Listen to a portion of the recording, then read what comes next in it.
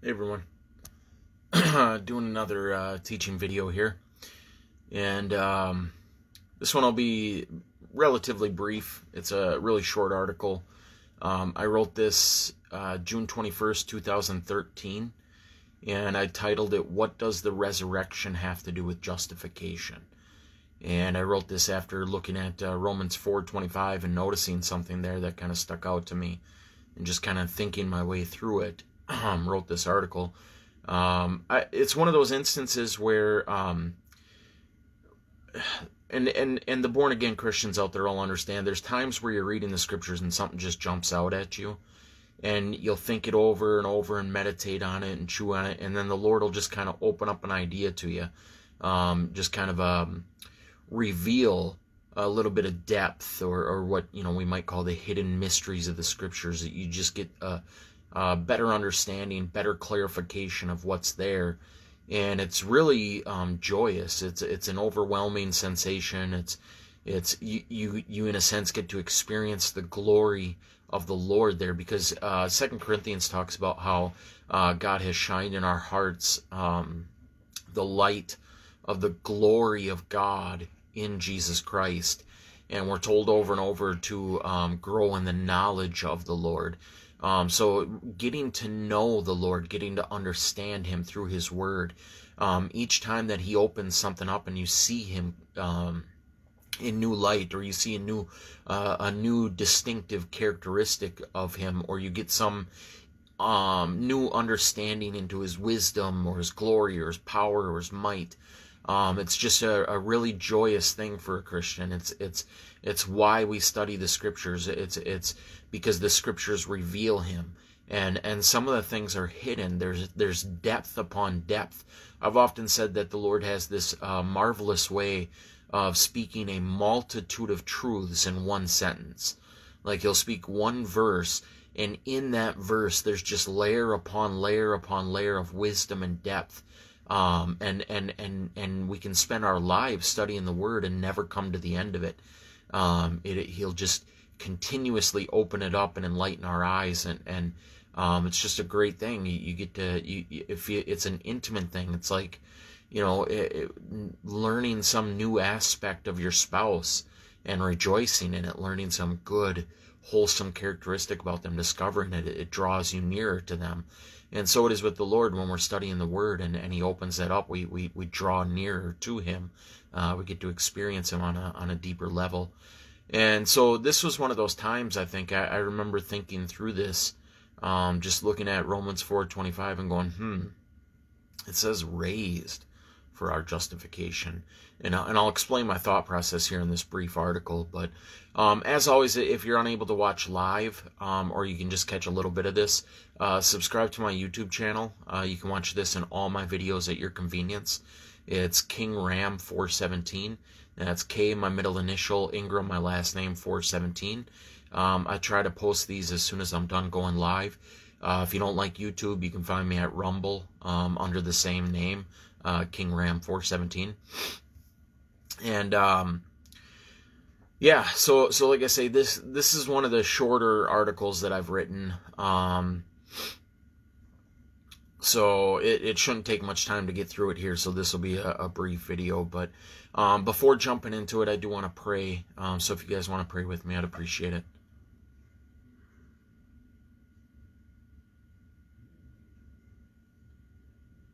How should I pray, Lord? I remember being really excited. Um,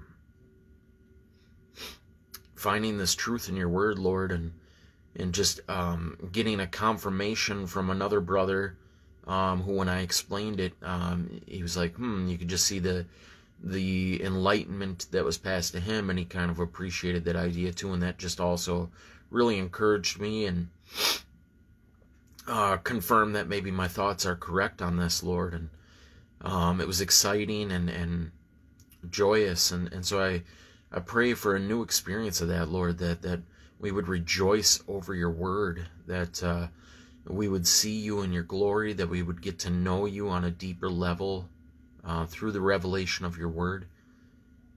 Um, I just I pray that you would be magnified, that you would be honored, that you would be uh, glorified in this video, Lord. That um, if I speak anything that's true or good or or wholesome or righteous and glorious, Lord, that it would just um, rejoice our hearts, that we'd be overwhelmed um, with with who you are, and, and that we'd appreciate you and your word, and we'd celebrate you, Lord, and rejoice over it.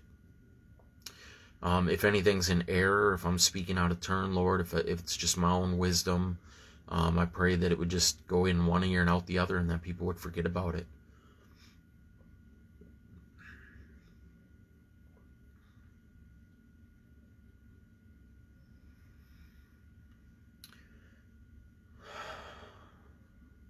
Lord, I pray that uh, you would just help me get through this video with this head cold or nasal situation going on, whatever I got happening here. Um, that you would just bless me and help me to work through it, Lord. And um, just glorify yourself, Lord. Your word doesn't return void. Um, so help us to rejoice in your word. I love you, Lord. In Jesus' name I pray. Amen. All right, so um, again, uh, this is based on Romans 4:25, and I titled it "What Does the Resurrection Have to Do with Justification?" So, just to define those terms, resurrection um, is the resurrection of Jesus Christ when he came back from the dead after his crucifixion. And justification is being made just with God, being made right, uh, being vindicated in the courtroom of God. Um, his wrath is due to us uh, because of our sin. Uh, so to be justified, justification is to have that uh, wrath satisfied, um, to be acquitted, so to speak, to be found not guilty, to, to, to be found righteous in the sight of God, to have found to have kept the law. So, how does Jesus rising from the dead um, tie into our justification, our being made right with God? How is his rising from the dead? Uh, how does that act make us right with God? Um, so the verse says in Romans 4:25, "Who was delivered for our offenses and was raised again for our justification." And Paul said in 1 Corinthians 15 17, And if Christ be not raised, your faith is in vain, ye are yet in your sins. Um, so the when I was first looking at this, when I when I first noticed this verse, because um, a lot of times um, you'll read and reread and read through the scriptures, and sometimes things will stick out that you've never noticed before. It's like, you know, I've read through Romans uh, chapter 4 a hundred times, and, and all of a sudden this one part of it uh, sticks out. And it's like, hmm, I, I never noticed that before. And so I think that's what happened here in this case. I was looking at Romans 4 again, and I came to that last verse um, of the chapter, verse 25. And what really stuck out to me was that part where it says that uh, he was raised uh, again for our justification and it kind of tied my brain in knots. Um, I was just a little perplexed by the idea. Um, because it, the idea of his raising from the dead and that equaling our justification didn't make sense to me. Um, his death and crucifixion, him going to the cross, him suffering the wrath of God, um, th- that act as justification made makes sense to me because it's a propitiation. I'm guilty before God uh, of of sin, uh, sin deserving of eternal wrath and death, and Jesus Christ paid the price uh, by going to the cross and enduring the wrath of God, drinking down that cup of wrath. So, like that act there um, seems to me to be the justification. My sin was atoned for on the cross. Jesus paid my fine uh, by suffering and dying on that cross. So to me, I always saw that as justification.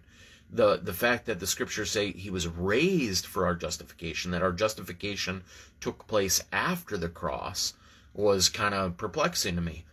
Um, because like i say the, the act on the cross was a, an, an actual propitiation a substitution. Um, it was a penal act a, a, judicial legal act of him taking my place. Um, he stepped in as my substitute. That makes sense to me because then the judge can look at me and say because of him you're you are free.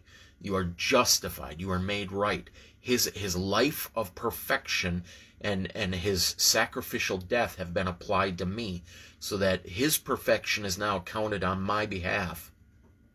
And his death is also counted on my behalf.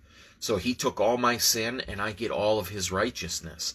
And like that that's the the legal course of action that was taken on the cross. And and so I've always seen that as the definitive um, moment uh, of justification it makes sense to me um, that that legal process makes perfect sense. Um, like I say, I'm I'm always thinking about the cross um, in in light of a courtroom. Um, because that that's what it is. God is judge. He's a just judge. It says righteousness and justice are the foundation of his throne. That's that's the platform by which he rules justice and righteousness. He is just. Everything he does, every decree he makes, every action he takes is just and righteous. It's founded in those things. And I'm guilty. You know, justice demands my punishment. I have sinned against the Almighty God. I have disobeyed him um, when he lays his law on my conscience and in the Word of God. I have violated his principles. He says not to do something and I do it. He says to do something and I say no. Um, I'm a guilty criminal before him. Um, so I, I deserve punishment, and his justice and righteousness demands punishment. Um, the, a just judge cannot let a guilty criminal go free. And then Christ, the perfect God man, the, the, the one who kept the law in totality, who, who obeyed in, in every aspect, was 100% obedient. Every time God said, do this, he did it. Every time God said, don't do that, he did not do it. He was perfect in thought, word, and deed. And, and he steps in and and gives me his righteousness places his righteousness upon me says lord count says god count everything i did in perfection to his account and i'll pay his fine. And he and he absorbs the wrath and the justice uh, that was due to me. And because of that act i'm now justified. I'm now right in the eyes of the courtroom. I'm now right in the eyes of the judge. So how does the resurrection the action of him raising from the dead um, taking place after this in, entire courtroom process, after this entire legal process, how does his rising from the dead play into that justification? Um, because in the past, his resurrection, when you think about, okay, what, what was the point of his resurrection? Um, and you'll often, I've, or at least I've often heard um, it explained as it signifies his deity. Um, it shows his power and his godhood that he rose from the dead. He said he was going to rise from the dead, and he did. It shows his power over even death um, and the grave. That that he has the ability to raise from the dead, and and it gives us hope uh, that one day we're going to raise from the dead as well. Um, so so that was always the way I looked at the resurrection. Um, as a as a signification of his deity, his power over death, and our great hope that one day we too will rise for the dead, uh, from the dead. But honestly, like when when I when I would hear those explanations, or when I would think about those explanations myself, it was never emotionally and intent, intellectually satisfying. I wasn't satisfied with that answer, but I didn't know of any other answer, so I just I accepted it. Um, when I think about uh, the resurrection in the past, when, when I think about that past mindset, I always felt like I was missing an important part. Like, like that's not the totality of what the resurrection was about. The resurrection wasn't just to prove his deity and to give me hope and to show his power over the grave. That didn't sit well with me. It's like I, I, I felt like a big theological portion was missing um, from that whole thing, and and so like I said, I, I just didn't know what it was, and and and I had no idea where to even look for an answer. Um, so I just settled it in my mind. I, I just kind of filed it in the back of my brain, so to speak.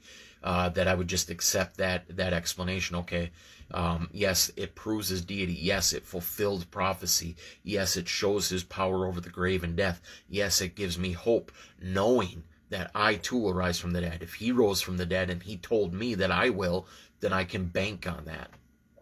So I just kind of put all my eggs in that basket and just moved on with my life. Just, you know, not really giving it much more thought. But but again, just never being satisfied with that answer, never being like, yes, that that is um enough. That's all I need to know about this. Um so I, I think this part of it, this justification part of the resurrection, uh, mentioned in Romans 4:25, is the part that I was missing. Um, and like I say, justification, once again, it's it's being made right with God, um, being cleared in that courtroom. So how does justification tie into the resurrection? And I think I got a little insight through this verse. So um, again, I'm just repeating this for emphasis. The question is, how does the resurrection tie into justification? And and and again, we all uh, view this justification as a penal act. It's a law issue. Uh, justice, substitution, righteousness, justification, propitiation. Those are all legal terms, and they apply to a judge and a lawbreaker. And and so again, this is our situation. God's that just judge who demands justice. We all stand guilty and condemned before him, but Christ steps in and becomes our substitute and propitiation. He takes the wrath of the, the uh, of the justice that was due to us, and we're counted free and righteous before the judge. Um, so, with that whole scenario outline, with the way I had thought about this previously in my life, uh, the cross um, and Jesus' death uh, were specifically the justifying act. That appeared to be the wrath absorbing, propitiating um, act where my penalty was paid and I was justified. Right? That makes sense. Legally, it makes sense. It makes logical sense. Um, he, but here's where I went with my thoughts the other the, when I was thinking about this particular verse. There's one more step necessary. Think think about it like this if you're in that court of law and you have a debt or a fine that needs to be paid, uh, but you can't pay it, and someone else steps in uh, into the courtroom and pays the fine on your behalf, you're free to go, right? No. The judge has to accept the substitutionary act. Um, so the judge has to accept that payment on your behalf. He has to say, "Yes, I'll take that." Uh, you're you're given a fine of a million dollars and you can't pay it, and somebody walks in off the street and says, "Judge, I, will cut you a check of a million dollars right now." The judge has to say, "Okay, uh, court the case dismissed." So, what's the evidence uh, that the court that the courtroom has uh, dismissed your case? What what's the evidence that that act has been accepted? Uh, it's it's when the judge officially dismisses the case and hits his gavel on the ground. It's when your debt that that million dollar debt that you're owed is stricken from the record. It's taken off the files. It's when the receipt for that debt is handed to you that says paid in full. Um, so nobody can ever accuse you again, hey, you owe a million dollars. No, I got the judge signed receipt that says my debt's been paid in full. Uh, the judge accepted that substitutionary act and has given me a receipt to prove it. So, what is the receipt? What is the evidence that God accepted Christ's substitutionary act? Where is the evidence that, that when Christ went to the cross, that that paid the fine? Where's the evidence that God the Father said, yes, debt paid in full? It's the resurrection. The resurrection is the receipt. The resurrection is the proof that God has vindicated us. The resurrection is the proof that God said, yes, it's been accepted. It's the proof that God has wiped the slate clean. It's the proof that God found Christ's act worthy. It's the proof that we are indeed justified before God. That when we go into that courtroom on the last day, our debt will have been paid. Um, without the resurrection, if Jesus would have never got up from the dead, there would be no evidence that God had accepted Christ's act. and we would still be in our sins, like Paul said in 1 Corinthians. Without the resurrection, there's no justification. But Christ, his, his rising from the dead, his resurrection, is the proof that we're justified with God. Praise the Lord for that revealed truth. Um, in the past, like I say, for me, the resurrection uh, meant the the evidence of his deity, the hope for the future, but it was always missing that something.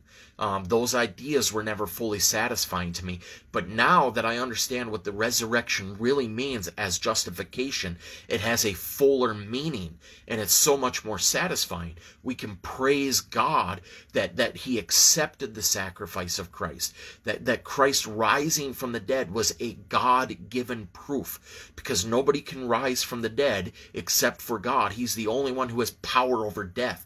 So when Jesus said, I'm going to die for sins and I'll raise again. Um, if he would have just died on that cross and and not rose from the dead, everybody would Paul, the apostles, us, we'd be left going, did that count? Was that real? Did, did, did that really count? Did God accept that? We wouldn't know. We'd have that doubt. We'd have that that that that fear of of not knowing whether or not that actually paid for us. Yes, Jesus lived a perfect life. We all saw that. We saw him as the perfect God man, healing, doing miracles.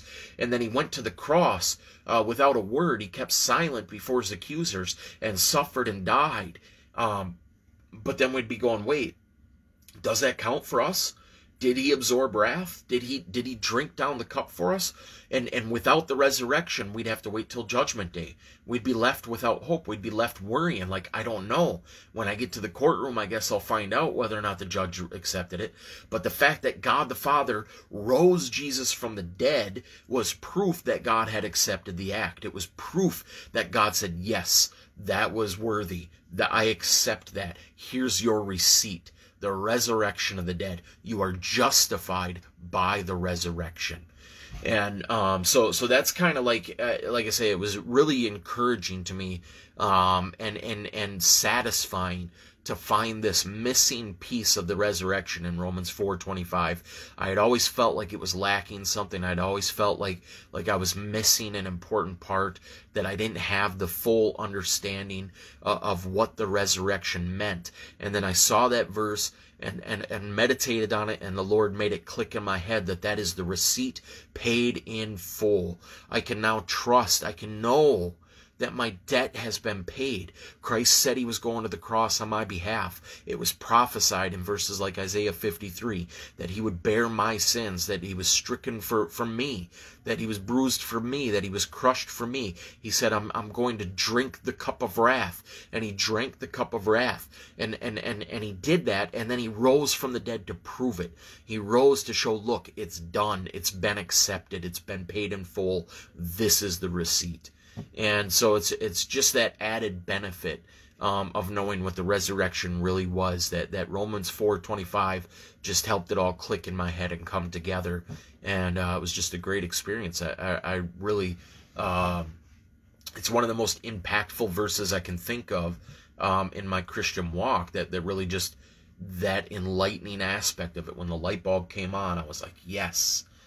Yes, now I get it. Now I now I, I, I understand um, how the resurrection justifies me before God. Um, so, anyways, like I said, it was a real short article that I wrote. Um, that's all I got for you. Um, if you're just catching the end of it, you were unable to watch the whole thing, um, subscribe to my YouTube channel, uh, Kingram 417. It's K, my middle initial, Ingram, my last name, 417. Um, if you're not on YouTube, you can find me on Rumble under the same name. And uh, you can watch this and all my videos at your convenience. Um, I'm just about to uh, be done going live here, so I'll try to post this right away. All right, I love you guys. Thanks for watching. We'll talk to you later.